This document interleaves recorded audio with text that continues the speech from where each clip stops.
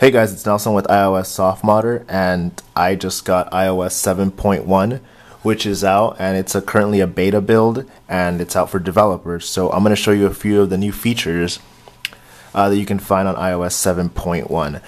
So a few of the advancements are uh, bug issues, but there are a few new features. So I'm going to go through those really quick. So the first one is darkening your keyboard. So if you go to Twitter or something, you can check out your keyboard. It's light uh, now you can darken it. Uh, if you go to settings, um, general, accessibility, you can scroll down and you'll see it here. Use dark keyboard and your keyboard will be dark. Um, Justin did a video on that already, so you guys can check it out because there's different levels to the darkness. Because if you increase the contrast and put darken colors, it becomes even darker and reducing transparency. Um, darkens the background, um, darkens your whole device. And it makes it become a little bit more saturated, things like that. So you guys can check out uh, that video. So that's a few things. Oh, I'll show you the keyboard. It's a little bit darker, and you can see that it's darker. Okay, cool. Uh, next thing is also having to do with, um, well, the reason you would want to darken your keyboard is for better viewing experience, especially at night. Another one of the uh, features that you can now do is a bolded text. Actually, it's not a new feature. It's been on uh, it's been on iOS for a while, but whenever you enabled it, you had to restart your device for it in order to take place. So now all you have to do is enable it and exit and go to Twitter. And you'll see that everything's bold now. So the texting, uh, or I mean the text is all bold. And yeah, it's pretty instantaneous. So you can check out some of this. This is bold too. So that's also uh, to enhance your uh, viewing experience, especially at night. We'll take that off. Okay, the next thing is with your camera.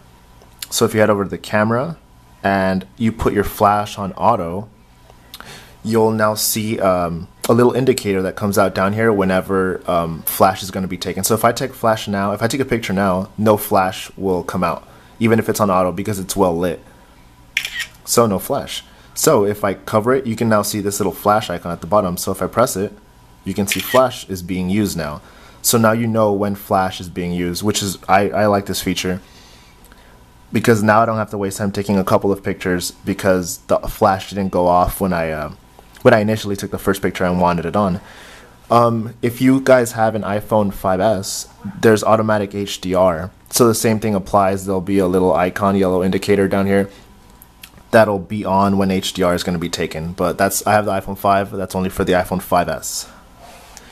And the last feature that I want to touch on is if you scroll down and go to all, you can now, whoa, it's really dark. Let me take that off, actually. Okay. So if you go down, you can now see this says no notifications. And if you go to missed, it says no missed notifications. That's new. Before there was no text like that at all.